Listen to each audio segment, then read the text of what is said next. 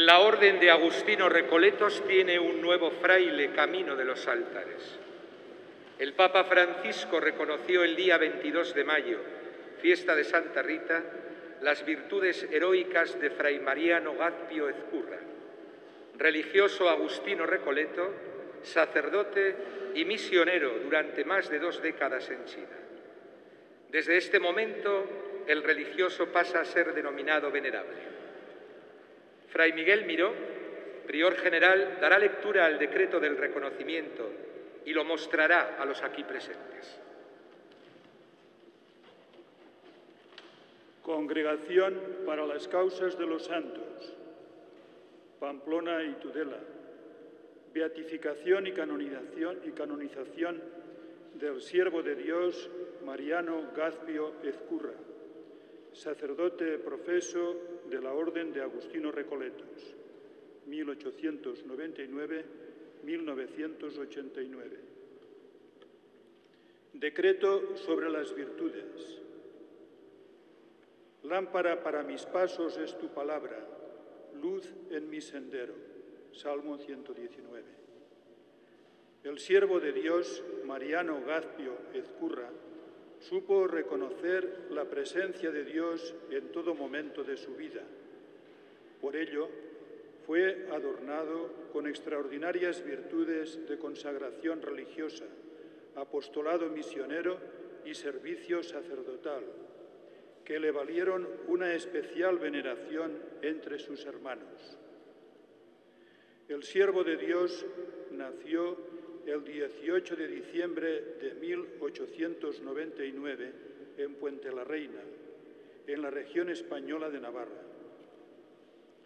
Su padre era cantero y su madre se dedicó a la educación del siervo de Dios y de sus tres hermanas.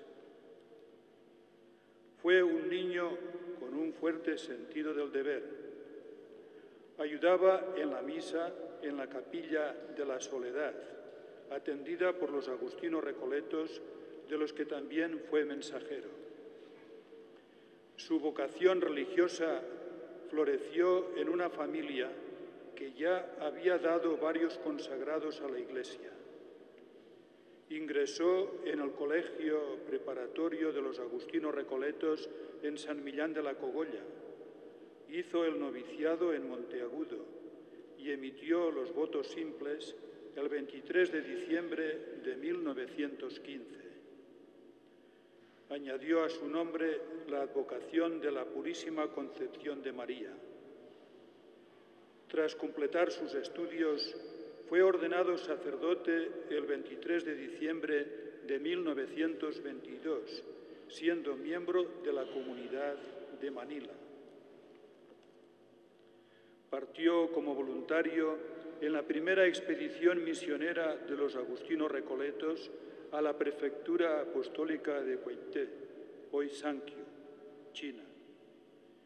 Llegó en 1924 y permaneció allí hasta 1952, ocupando durante algunos años el cargo de vicario general de la prefectura, primero, y del vicariato apostólico después así como el de superior de la misión de los agustinos recoletos.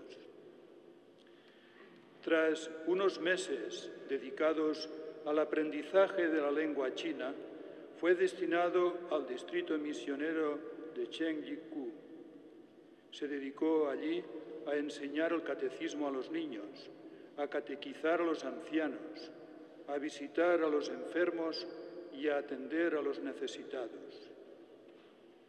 Debido a la inseguridad de la zona y a la guerra civil que se libraba entonces, tuvo que sufrir trabajos y dificultades entre bandidos y soldados. Se trasladó después a la misión de Yucheng, inspirado por el lema oración y predicación, se propuso, con la ayuda de catequistas, anunciar a Cristo en un ambiente que aún no había sido evangelizado. En la misión de Chutsi trabajó con la formación de catequistas.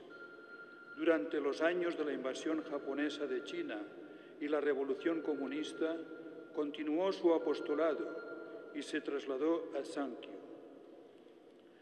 Aquí las tropas revolucionarias ocuparon los, locales de la misión católica y confiscaron los bienes de los religiosos.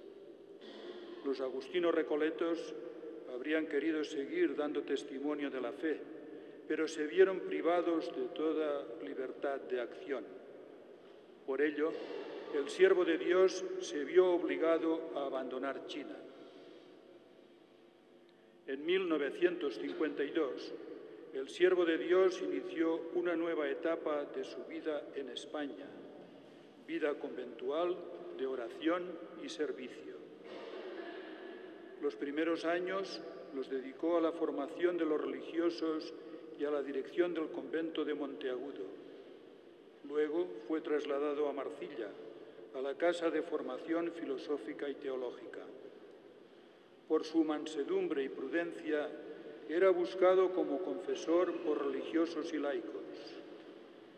A menudo se le encontraba rezando y tratando de ser útil en tareas sencillas.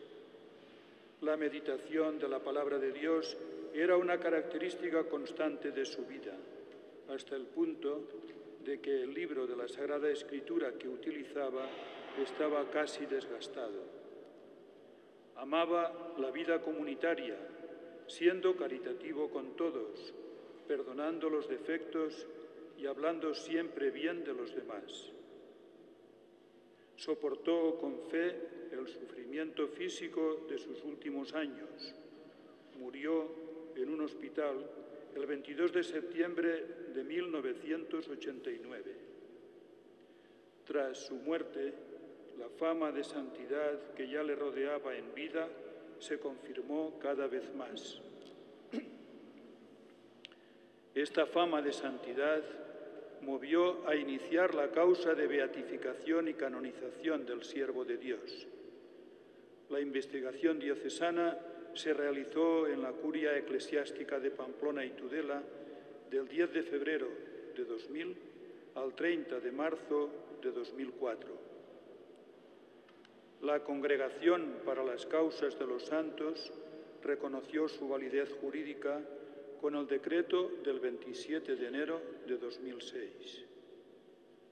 A continuación, se preparó la posición y se discutió, según los procedimientos normales, si el siervo de Dios había ejercido las virtudes cristianas en grado heroico.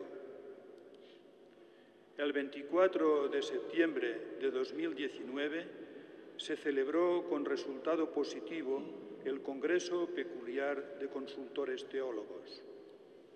Los padres cardenales y obispos, en la sesión ordinaria del 18 de mayo de 2021, reconocieron que el siervo de Dios había ejercido en grado heroico las virtudes teologales, cardinales y las a ellas anejas. El suscrito cardenal prefecto informó entonces de todo ello al santo, al sumo pontífice Francisco. Su santidad, aceptando y ratificando los votos de la congregación para las causas de los santos, ha declarado hoy, consta que el siervo de Dios, Mariano Gazpio Ezcurra, sacerdote profeso de la Orden de Agustino Recoletos, ha practicado en grado heroico las virtudes teologales de fe, esperanza y caridad para con Dios y el prójimo, así como las virtudes cardinales de prudencia, justicia, fortaleza y templanza, y las a ellas anejas en el caso y para el fin que nos ocupa. El sumo pontífice ordenó seguidamente que este decreto fuera publicado e incluido en las actas de la Congregación para las Causas de los Santos, dado en Roma el 22 de mayo del año del Señor 2021. Marcello, Cardenal Semario, Prefecto Fabio Favene, Arzobispo titular de Montefiascone, Secretario.